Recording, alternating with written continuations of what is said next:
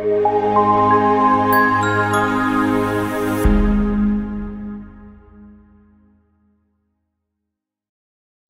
my name is Janet Micka.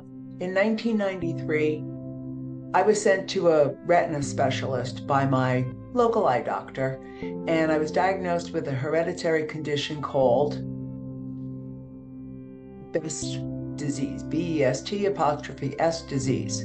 Uh, it's not the best disease because I was informed that within a few years um, I would probably go blind and there was no remedy for my uh, affliction.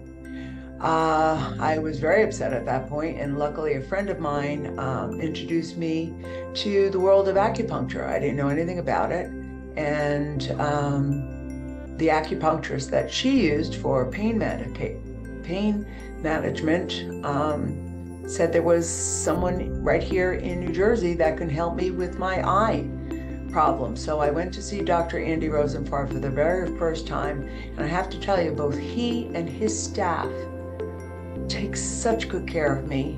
And last year, uh, have maintained my eyesight for almost 30 years now, helped me maintain it. And um, uh, last year, he introduced me to the hyperbaric chamber, which is like a blow up uh, balloon that you lay in for an hour. It's very um, comforting and quiet in there.